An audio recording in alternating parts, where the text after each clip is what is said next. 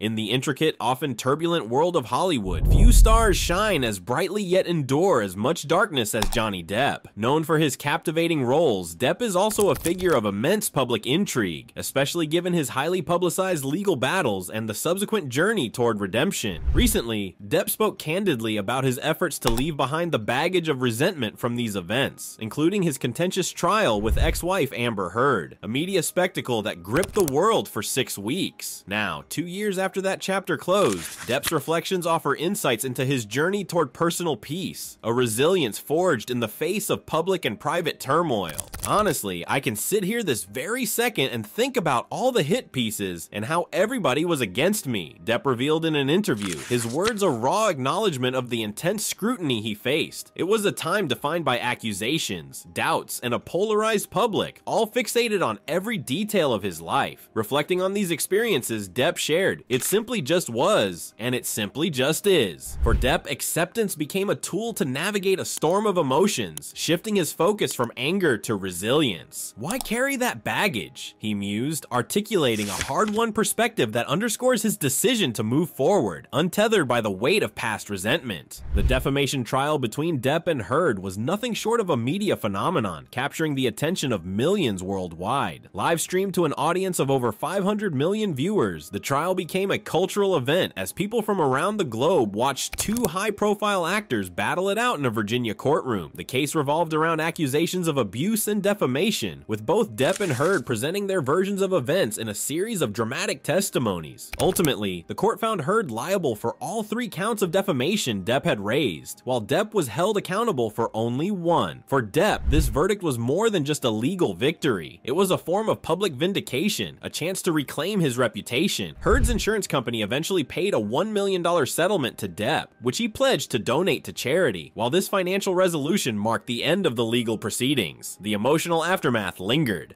The trial unveiled shocking details about Depp and Heard's relationship, including an audio recording where Heard admitted to hitting Depp. I did not deck you, Heard said in the recording. I was hitting you. I don't know what the motion of my actual hand was, but you're fine. The disturbing recordings highlighted the toxic dynamic between the two and painted a stark contrast to the romanticized image of Hollywood relationships. For many, this audio clip represented a pivotal moment, providing raw insight into a painful reality that often hides behind closed doors. While grappling with these revelations, Depp found refuge in his art, specifically through his iconic film roles. Known for disappearing into his characters, Depp used acting as a sanctuary from his chaotic personal life. Being in the vast wilderness taught me a lot, he said, reflecting on how immersing himself in different roles provided a buffer from his reality. Acting became a therapeutic outlet, a way to channel his energy and focus away from the chaos surrounding him. For Depp, the world of cinema offered a semblance of control, an arena where he could shape narratives and explore emotions safely removed from his own life. It was this escape that helped him cope, and his dedication to his craft continued to shine, even during his darkest times. Yet Depp remained acutely aware of the inescapable nature of his public image. It's like OJ or something, but hey, it just happened. That's all, he noted, recognizing the inevitability of being etched into public consciousness, just as other notorious figures have been. Depp's journey in Hollywood has been marked by both critical acclaim and personal trials. His latest project, Modi, Three Days on the Wing of Madness, is a biopic centered on Italian artist Amedeo Modigliani, set in Paris during 1916. Depp's passion for this project is palpable, as it represents a significant return to the director's chair, a position he hadn't taken since his 1997 film, The Brave. That project, though deeply personal to Depp, was widely panned, leaving a lasting impact on his self-perception as a director. Recalling the critical response to The Brave, Depp reflected, I remember very well the come down of the critics on The Brave, and all it did was make me understand. The sting of that failure may have lingered, but it ultimately became a lesson in resilience,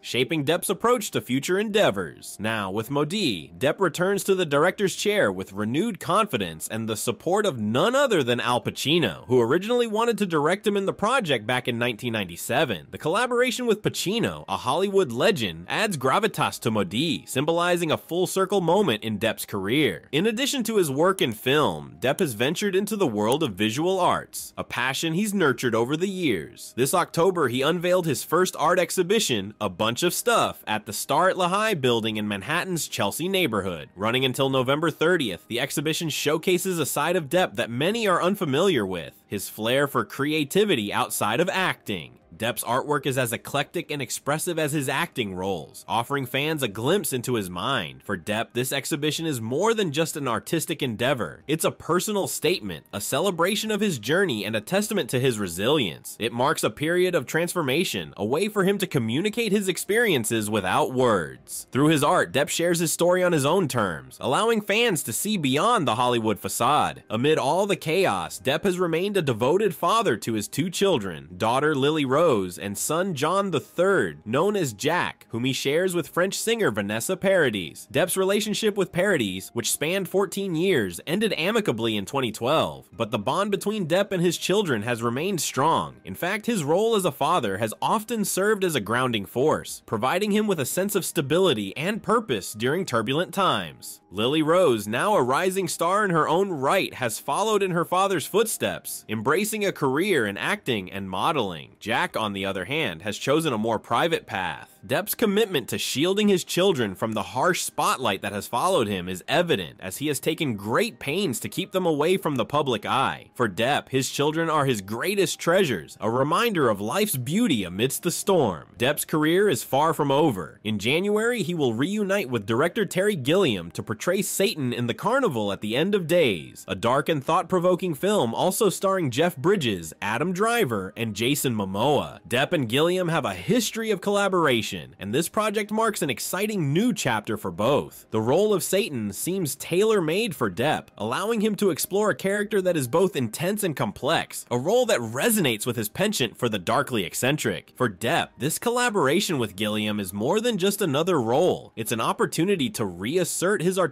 prowess and push the boundaries of his craft. The film's themes of chaos and morality mirror the actor's own journey, making it a fitting addition to his repertoire. Fans eagerly anticipate Depp's portrayal, curious to see how his personal experiences may influence his performance. Johnny Depp's story is one of survival, resilience, and reinvention. From the devastating lows of public scandal to the soaring highs of artistic triumph, he has weathered a storm that few could endure. His ability to transform pain into art, to find solace in creativity, and to maintain a commitment to his family speaks to his strength of character. While the scars of his past are unlikely to fade entirely, Depp's journey offers a lesson in forgiveness and the power of moving forward. Depp's reflections on his past, his embrace of new creative ventures, and his unwavering devotion to his children reveal a man who has emerged from the shadows, stronger and wiser. For Depp, the path ahead is no longer about shedding his past, but rather embracing it as part of his story. His recent endeavors in art and film are not just career moves, they are expressions of resilience, of a man determined to write his own narrative. In a world that often defines celebrities by their controversies, Depp has shown that there is life beyond the headlines. His journey is a testament to the power of self-discovery and redemption, proving that even in the most challenging times, there is always room for growth and hope. Johnny Depp may forever be remembered for his tumultuous past, but he is also a symbol of the resilience needed to overcome it. As Depp continues to forge new paths in art and film, he remains an artist who defies categorization, a man who has learned to carry his burdens lightly and live authentically. Whether in his portrayal of complex characters, his directorial efforts, or his visual artwork, Depp's story continues to captivate, reminding us all that the most compelling narratives are those of human resilience and reinvention.